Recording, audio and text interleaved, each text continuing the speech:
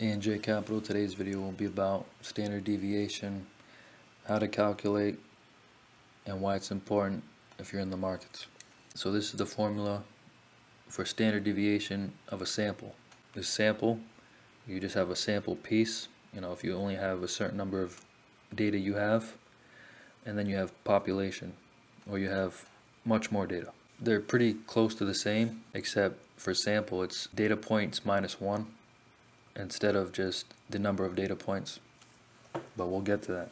Standard deviation is how spread out some data values are to each other and how close or far away they are from the average, the mean of a set of data points. Let's say we wanted to find the standard deviation of E&J Capital stock price. Like I said, this is a sample size, so only a week. And we're going to get the closing price of EJ Capital stock from Monday through Friday. So let's say it started out, it started at eight dollars, went up and then dropped down to nine at the end of the week over the number of data values we have. I know stocks never end in whole numbers. I know there's always decimal points. Since I, I'm doing this example, I want to keep it clean, so no decimal points. But I know you should be using decimal points. Then you find the mean, the average of these values. So you do 8 plus 9 plus 11 plus 12 plus 9 so that equals 49. And then you divide that by 5, which is 9.8, which is the mean. Mode is which, which data value comes up the most. 9 comes up twice. The range would be the difference between the high and the low. Median is the middle number if you put it all in numerical order. You don't need to know those. Just need to know the mean, which is 9.8. So next, subtract the mean from each of these data points individually, minus 9.8 for each of them.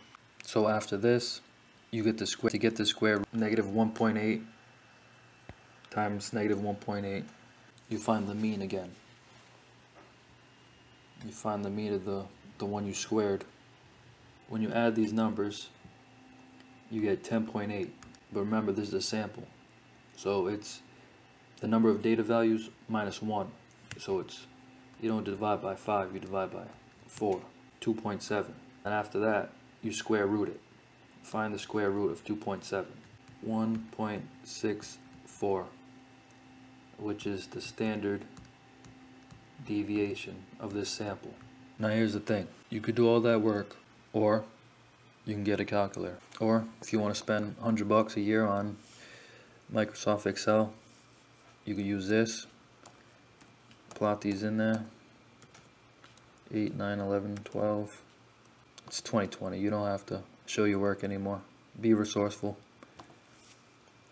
Equal to standard deviation of a sample. Click that. Bring it down. 1.64 round it up to a number. Round it up to Clean number 1.64. What does that mean?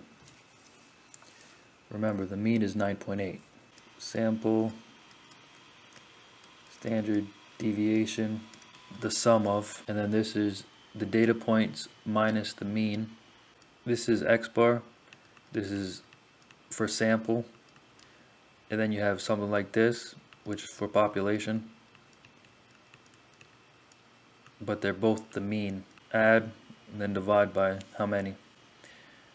Square root that over a number of data points minus 1 because of the sample. So this is the, the mean, the average, which will be 9.8. And when you use standard deviation, it's going to be plus or minus 164. So that means if we're looking at the stock price and you start plotting in more data it's going to show that 68% of the time it's going to be one standard deviation from its mean.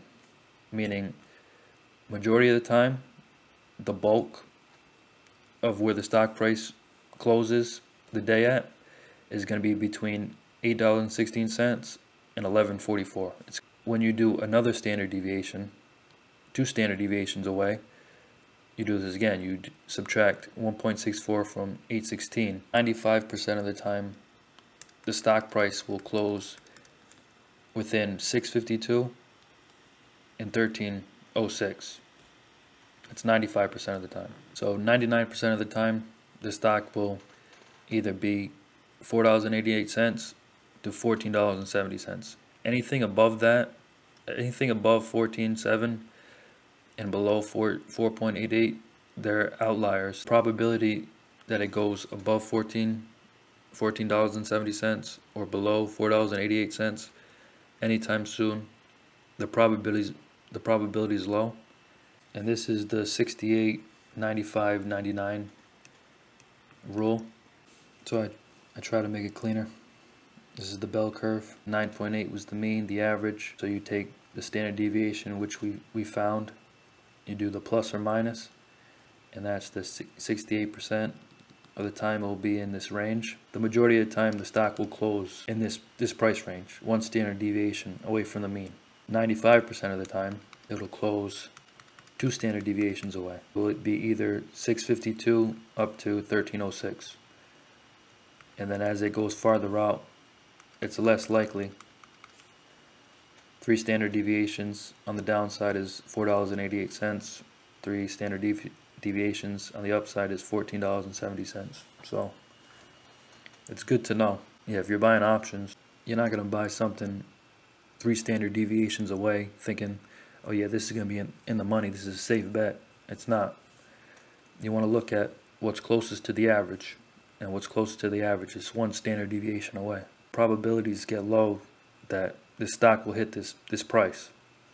This is a made up stock, but anyway, I'm tired.